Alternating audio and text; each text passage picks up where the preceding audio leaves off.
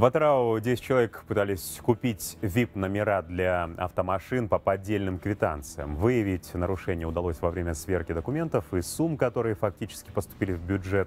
Ущерб государству превысил 5 миллионов тенге. Ведется досудебное расследование по фактам мошенничества и подделки документов. Прокуроры говорят, если подозреваемые полностью возместят ущерб, элитные номера им э, могут, они могут оставить у себя, но э, ответственности избежать им все равно не удастся.